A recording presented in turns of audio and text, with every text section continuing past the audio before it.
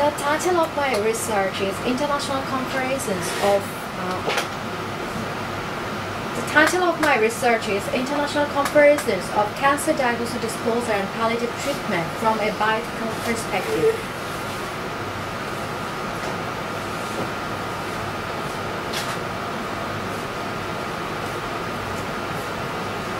Uh, this is the introduction.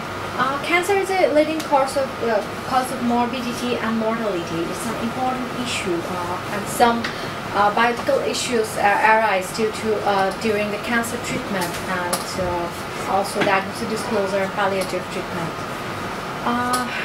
Is cancer is a group of disease characterized by the uncontrolled growth and spread of abnormal cells. If the spread is not controlled, it can result in death according to American Cancer Society 2017. Cancer is a leading, a leading cause of death over human history.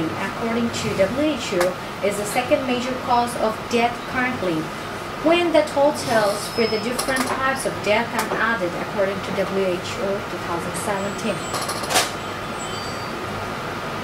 And uh, disclosure of cancer is an important issue. Diagnosis disclosure is a complex issue in communication with cancer patients. It involves the philosophical questions of what is true.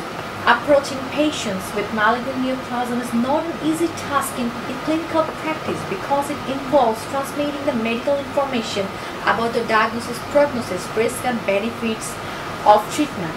In addition to the possibility of disease progression, in such circumstances, the process of delivering bad news uh, to patients is challenging, difficult, and sole responsibility uh, of the physician. Here is some modifying factors for cancer disclosures, uh, like family favors disclosures, cancer is physically noticeable, good prognosis uh, needed for treatment compliance, needed for consent to treatment, patient emotionally strong, patient has strong wish to know, patient has compelling need to know, patient is adult of younger age, no debt policy against telling. But all, um, although there is uh, some factors uh, that we are bound to uh, dis- disclose, but uh, there there are some ethical issues therefore uh, and another another uh, issue of uh, cancer treatment is palliative treatment for the dying patients or severely ill patients. Palliative care is care given to improve the quality of life of patients who have a serious or life-threatening disease such as cancer. The goal of palliative care is to prevent or treat as early as possible the symptoms and side effects of the disease and its treatment in addition to the related psychological, social, and spiritual problems. The goal is not to cure. Palliative care is also called comfort care, supportive care, symptom management.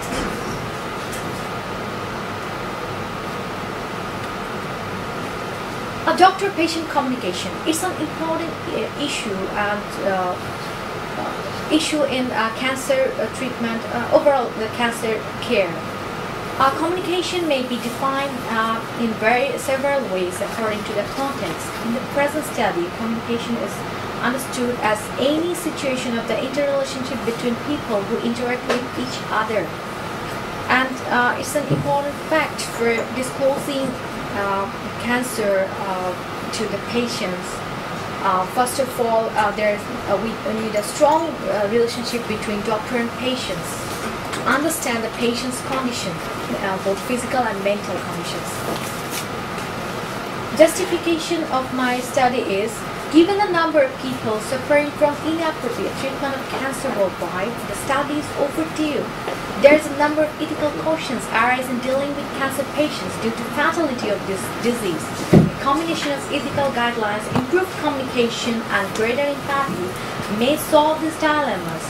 A deeper understanding of current practice of diagnosis disclosure and palliative treatment of different countries of the world could help in developing these combined guidelines. Also, comparison between developed, developing, and underdeveloped countries could help focus on factors that influence the level of implementation of ethical practice. Uh, here is my research question. Because of the above-mentioned concerns about disclosure and palliative treatment of persons living with cancer and uh, the gaps in the literature regarding this in Bangladesh and other countries, it is timely to undertake this research. The research question in, includes what are the existing practices of diagnosis, disclosure and palliative treatment?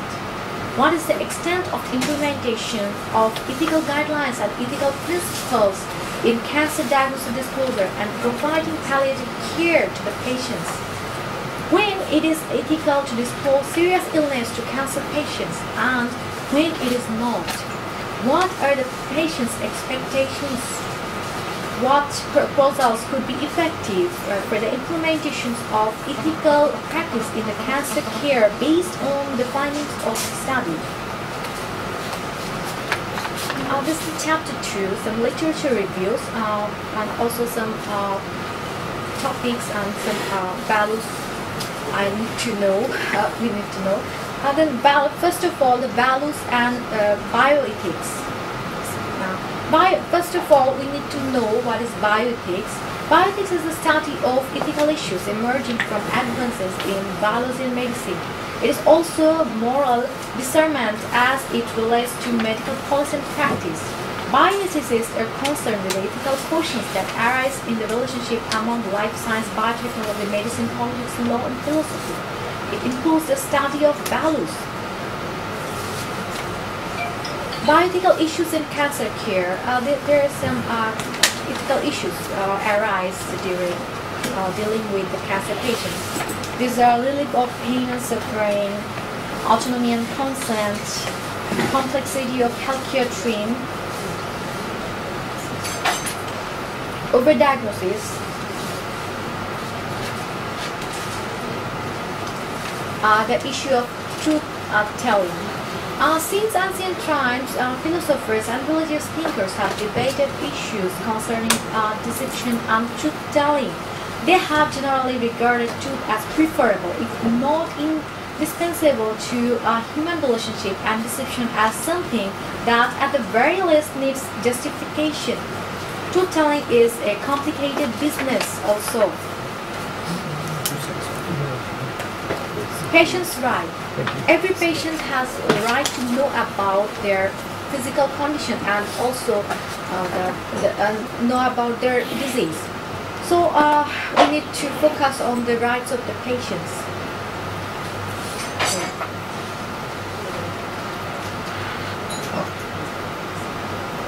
Uh, to telling from a physician's perspectives, here are some uh, studies uh, uh about the perspectives of uh, the physician who some of them want to disclose the truth to the patients, some of them prefer to disclose it to uh, fast uh, with family.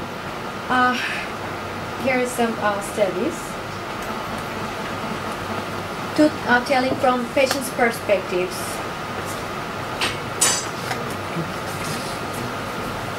Effects of truth uh, disclosure on cancer patients. Uh, before disclosing uh, the truth, first of all, we need to focus on the con patient's condition. So uh, there is some ethical issues arise. Okay, yes.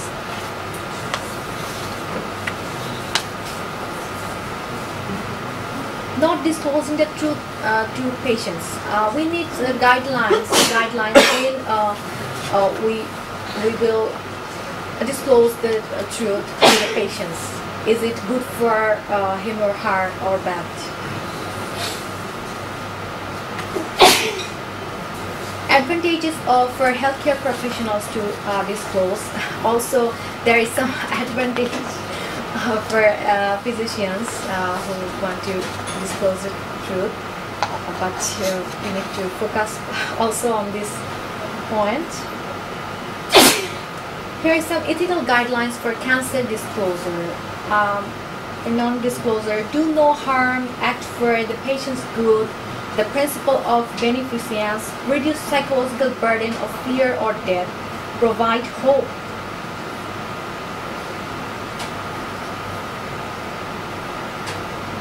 Here are some bioethical issues of palliative care, some studies. Influence of uh, family in palliative care uh, there is a uh, effect of uh, family members' uh, choice in uh, palliative care. So I am planning to interview also the family members as well as the physicians and the patients. Ethical guidelines for palliative treatment. Previous studies provided some guidelines and I have added this. Physicians have the responsibility to inform the patients or surrogate of the diagnosis and prognosis to determine which treatment should be recommended or offered based on available evidence and the patient's clinical condition. To inform the patient or surrogate of the potential benefit and burdens of uh, different courses of treatment.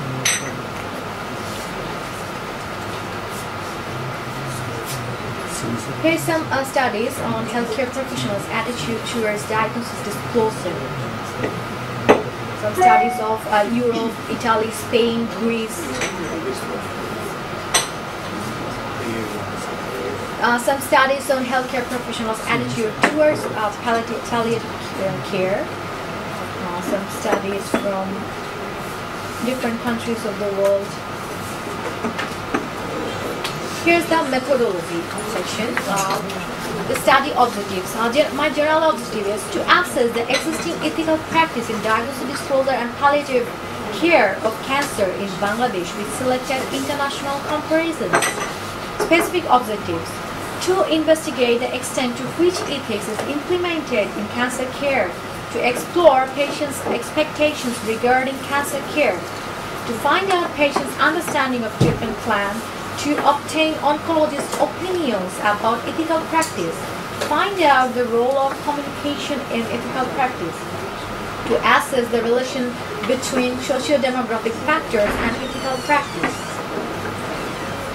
It's a conceptual framework.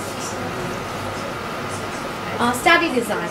This is a descriptive cross-sectional study based on interviews with patients and family patients, family members, and the physicians of, uh, treated in different uh, selected hospitals in selected countries. Currently, this is a plan to be in Bangladesh, USA, Canada, Japan, and Thailand. There will also be interviews with medical professionals practicing there.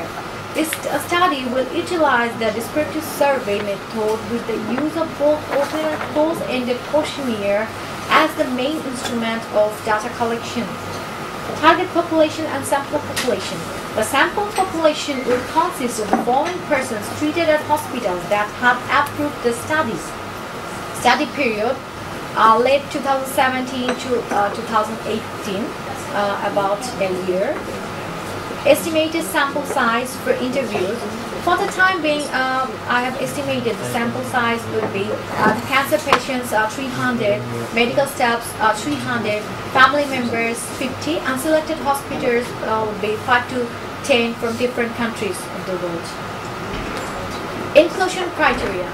All the cancer patients aging from 15 years of age, patients of any gender, healthcare professionals associated with cancer care, family members of uh, someone treated for cancer. Exclusion cri- criteria, persons who do not consent to participate.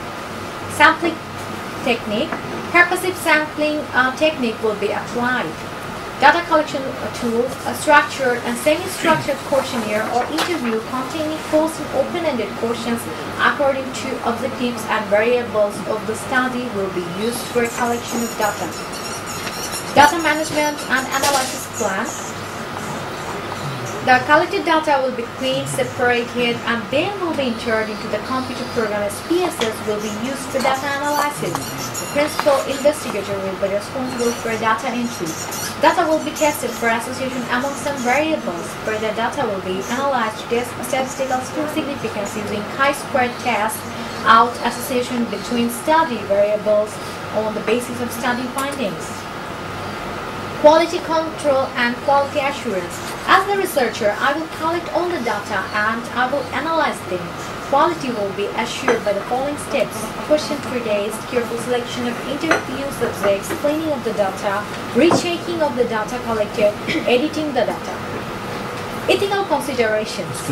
All necessary administrative approvals will be obtained from the responsible authorities before uh, the study takes place. Verbal consent will be taken from participants of the study. The respondents will be assured of the confidentiality. Expected outcome. The study aims at identifying the existing provision of ethical practice in cancer diagnosis disclosure and palliative care. Information of ethical practice in five different de- developed and developing countries can help the ethical policymakers to undertake strategic planning to ensure ethical practice in cancer care in the future. Limitations. Although it's an international study, but uh, it has some limitations, the study will only focus on a limited number of uh, hospitals in selected countries, including Bangladesh. I'm currently considering uh, to also survey in USA, Canada, Japan, and Thailand. Here's uh, some references.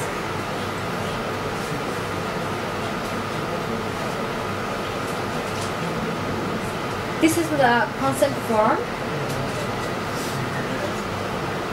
And the most important thing is questionnaire. Uh, this is a questionnaire for the pa- cancer patients.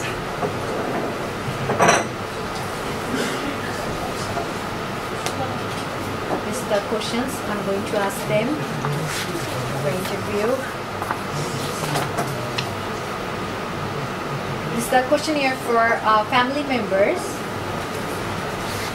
of uh, cancer patients. And this is the questionnaire for doctors, most important. At, uh, some attitude related questions and uh, some practice related questions.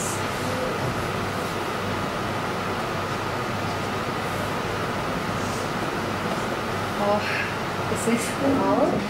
Uh, thank you. And I appreciate your suggestions regarding my proposal. Thank you. Okay, thank you very much, uh. Thank you. Um, I'd just like uh, to um, well open the floor for any questions, uh, suggestions. Johannes, please start. Uh, thank you, Nusrat. Uh, it's a wonderful uh, presentation, I must admit, because you have taken not only uh, like the we are always uh, interested in the curative nowadays. Like I'm also doing in the palliative center, like I'm doing the PhD for the end of life care. Now I see that you are also interested in doing the dental disclosure of cancer patient in and the palliative treatment, how it's going on.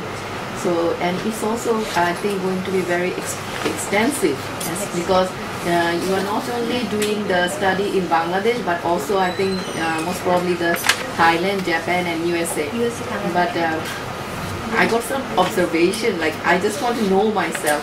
Like, uh, from Bangladesh, when you are going to take the uh, data collect, you are going to do this data collection, that means you will need to have some uh, ethical, Ethical permission. That I can understand you can take from anywhere. But when you are going to take the data from the USA, Thailand and Japan, how you are going to proceed on those collecting the ethical consideration. Uh, so that is my observation one. And uh, the other thing I think is okay, but and the uh, uh, the research question. Could you please go to back to the research question page, please?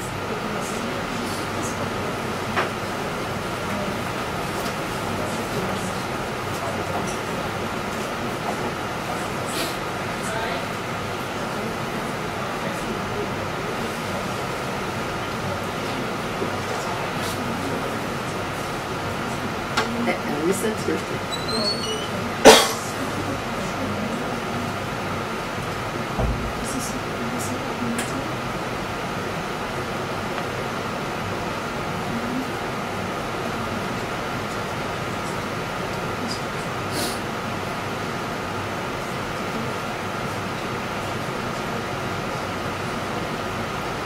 I think it's in chapter one, is it?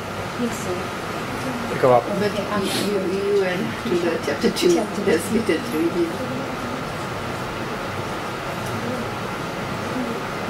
Yes, so these are the so uh, existing practices. Uh, okay, the extent and implementation of ethical guidelines. Uh, like uh, some of those uh, research questions are going to be focused on three kinds of respondents, isn't it? Yes. That is, uh, one is the doctor, one is the cancer patient himself or herself, and the another one is the families. Family. Okay, so uh, the extent of implementation ethical guidelines you are going to ask, all the research questions is going to be based on three kinds of respondents. Yeah. So the- do you expect that the families or the cancer patient they will understand anything about the ethical guidelines or ethical Uh, no, no, no. Uh, just ethical guidelines uh, for only doctors and the family family members uh, how they they have been treated from by the doctors. Uh, therefore, I'm uh, I'm uh, I'm going to interview both cancer patients and family members. Family members, especially the family members of the palliative uh, care, uh, the patients who are in uh, palliative uh, care, unconscious patients. Uh, it should be clarified. So I think the research question, if you could just uh, uh, clarify like uh, which questions could be for whom, that will be a better. Yes. I mean, for betterment for seeing, you know, Yeah, yeah. like uh, otherwise, you know, is haphazard. I mean, for whom the question is placed, it's it's kind of like uh, Yes, sir. Uh, yes, ma'am. I, you I can clear that. And please go to the uh, objectives. Yes.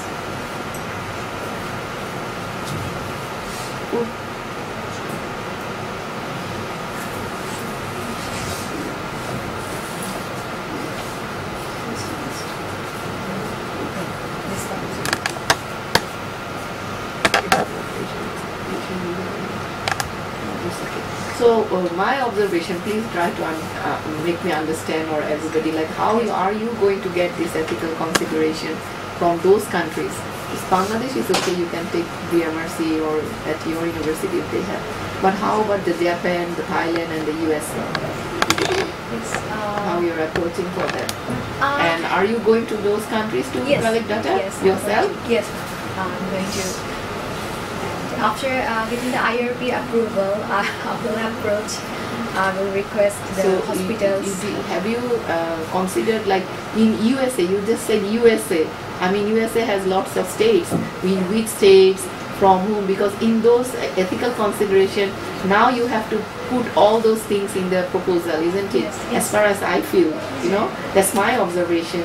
Darryl will say, um, maybe he, he can correct that. Yeah. My observation is that in the ethical consideration, you have to straight away say from which stage and which coun- uh, I mean, which uh, ethical review committee. Those things should be very much specifically clear, should so be that clarified. isn't it? Yeah. So Well, well, from the USA, uh, a federally recognized IRB, as such as AUSN, we're recognized with both the Food and Drug Administration and the Office of Human Research Subject Protection. So the approval from a federally recognized IRB is applicable across any United States and United States territories around the world.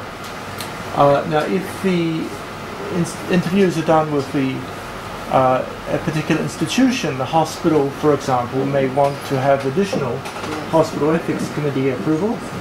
But if it's done without an, inside a context of a general public or outside institution, then it's sufficient as long as it's federally recognized IRB, it's fine. So uh, you don't need additional in different states. You, in federal, it's a federal regulation, not a state so regulation. I hope that Darryl can manage, will help you for that USA. But what about Japan and Thailand? Because you are student from here and you USN, but for approaching in a country, you can just give a proposal there to whom you are going to give. Uh, like it's a question for me. In Thailand, suppose from here you will just go fly there and just submit from how how it's gonna happen. Like I want to clear myself because maybe in future I might do some Yeah. some kind of So let me- international comparison about the end of life care. Maybe I, I'm really getting interested, you know. So just to clear out for me, it's not a question. This how you are going to approach so that I can approach myself in near So maybe future. I will, uh, yeah, answer the um, this one because the each hospital, if it's done in the context of a hospital, as is Nusrat's proposal, then the hospital ethics committee is sufficient to give approval. Okay? So the hospital will be the one. If it's uh, across the nation, then probably will use a. It depends case by case. Uh, our office in Thailand is in Chulalongkorn University, and we may use Chulalongkorn University uh, as the ethics committee. But if it's in a particular hospital, we'd prefer to use a hospital. We also work in Thailand with the Department of Health, like uh, you're doing here. So the Department of Health, uh, which I collaborate with in Thailand, we may do a, department-wide um, collaboration. In fact, we may be also setting up an office in Department of Health in uh, in Thailand. In uh, so that's uh, the last few weeks I was meeting with many colleagues here. So this is a uh, and now I'm one of the editors of the journal and other things. So we're trying to develop with the Thai government as well. In the Japanese case, it's also hospital. Every hospital has an ethics committee. So this is probably available in those contexts. Um, and otherwise, if it's universities, the, the difficult thing for IRB approval is if it's in the general public, then what's an appropriate uh, IRB to represent. In Bangladesh, you have a BMRC, as for example, or other forums, but in some countries, there may not be a general ethics committee which may be uh, applicable, but the nationally recognized university ethics committees can give approval for projects across the country in some countries. And in the US, that's the case. But some institutions require additional approval, uh, but some do not. And in some tribal nations, if it's done in a tribal nation, they may require additional ethical approval because of the, if it's involving indigenous people. Thank you. That's, that's great. Like because Darryl is going to be everywhere, so you are getting all kinds of support. In. Wow, that's very good. Thank you. Other comments or questions? Just tell me, please. Thank you, Dr. Nusrat, for your wonderful uh, you know, presentations of PhD proposal. Uh, I appreciate for your hard work. I have some opinion and just uh, small questions about it. That you have showed um, nine modifying factors of cancer disclosure, and uh, did you have any reference of those uh, modifying factors? Like, uh, are there any more modifying factors, like 9, 11, or 12? After uh, reviewing some literatures, I just found uh, this line. Nine, uh, um, and from, uh, the, from just I'm one paper, or to, yes, uh, from uh, some papers, and I added the references uh, to the list. And uh, uh, therefore, I'm, I'm uh, trying to in the uh, current condition, uh, current practice, uh, to uh, develop some guidelines. Oh, that's uh, very uh, and also the comparison, international Yeah, thank you. comparison. Uh, you, have, you have mentioned about uh, de- underdeveloped, developing, and developed countries. You want to uh, your research question is uh, applicable for developed, underdeveloped, and developing countries, um, like this, um, as I have seen. Yes, But, uh, Bangladesh, I, I you want would say- uh, compare the U.S. Uh, uh, U.S. is a developed country and Bangladesh is developing. Developing So, country, uh, but what about other countries like Canada, uh, Thailand, and Japan? Are they developing or uh, They are developed. developed. So, uh, is- isn't it a kind of unequal distribution of undeveloped, developing, and developed countries? Yes, uh, uh, and uh, currently I'm planning for these five countries and I will add more. And I'm looking for the uh, underdeveloped countries. Okay, you have uh, you have a, uh, you have some values for, for non-disclosure in the chapter chapters uh, two, uh, page number 14 to 16 most probably. Uh, I just wanted to know about uh, for my own interest uh, what are the values of disclosure? Like you just uh, mentioned about the values of non-disclosure. What are the values of disclosure? They were there, but you Yeah. did not discuss. Um, Um, okay. Uh, 14 to 15, most probably 16 uh, page number.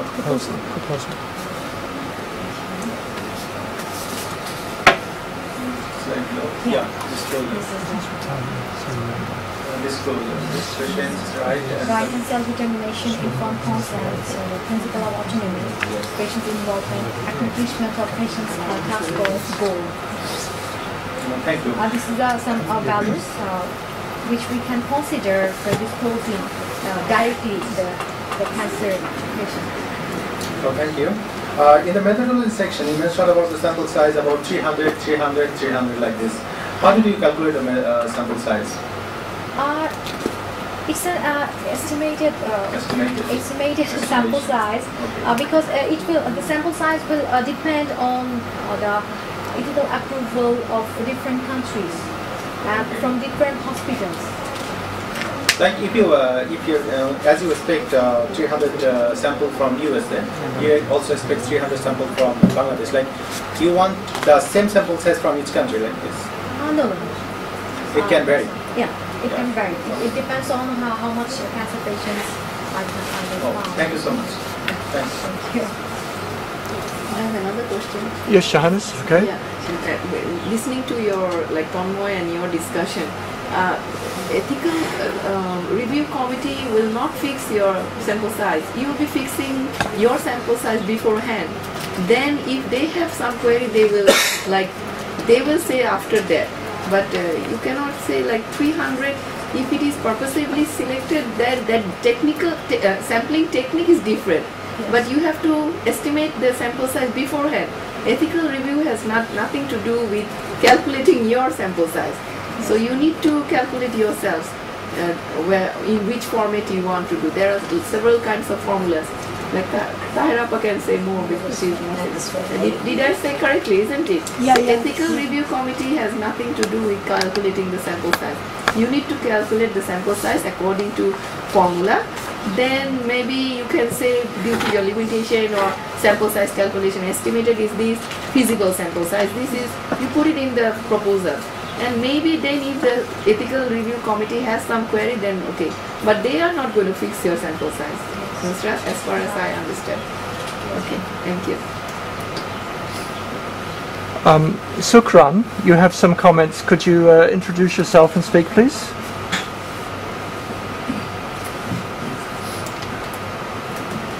Sukran, can you hear me?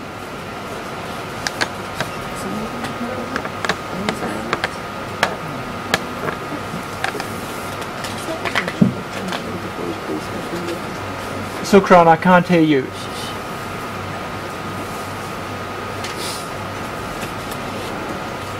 She congratulates you for good research, but I, she's, I don't know, her mic is not working or something. Eh, Nilto or anybody else, Samara, would you like have any comments? Andrew, Osama?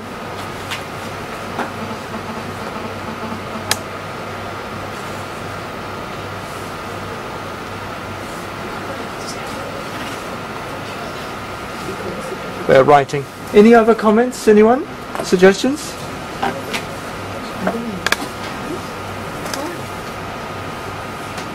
Okay, so I think Tahari, yeah, please. Though I've come very late, um, sorry for that, but other commitments have been met. The rest of the, of the sisters are coming also. Um, the, I've just look- heard what you said and I heard about the countries. And uh, it's just a recommendation from my side that a country like Sri Lanka with 30 years of civil war yet has managed to have maternal health and other indicators equal to many European countries. So I was thinking that since they are so developed in their concepts and principles, perhaps you might like to think of taking Sri Lanka as a I'm, I'm also planning uh, because I'm, visiting Sri Lanka uh, the conference. This is one of the best countries in South Asia to really achieve everything on their own without and with such a huge civil war continuously for 30 years. So my hats off to them also. Thank you so much, ma'am, for staying.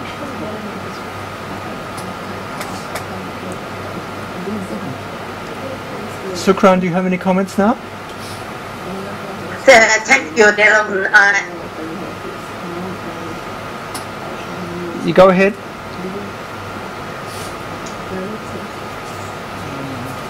Sukran, your mic's off again.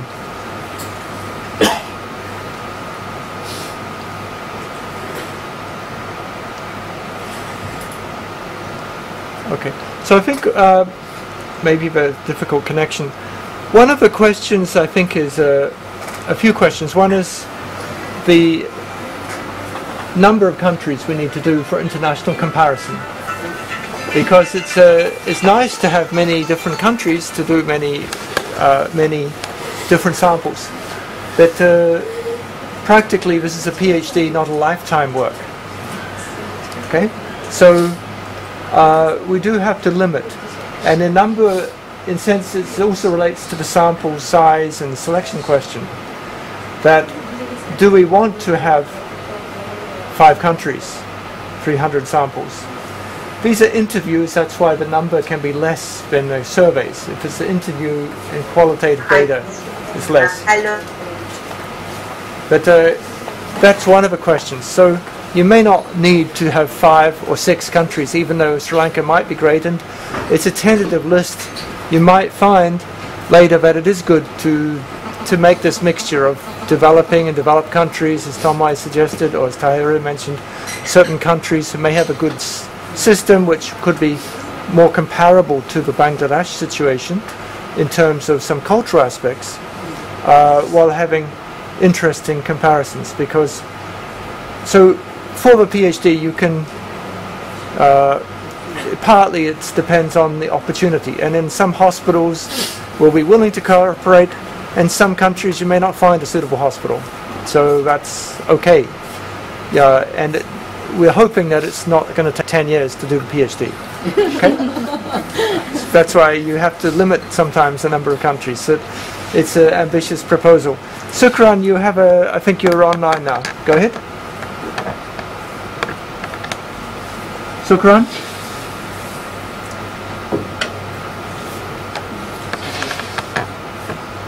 Okay, I think it's maybe tricky for her. Uh, Nusrat, do you have any other comments or reflections? No, uh, I appreciate uh, everyone's suggestion. Uh, that's it. Okay, thank you very much. And okay, well done. Thank you for the defense.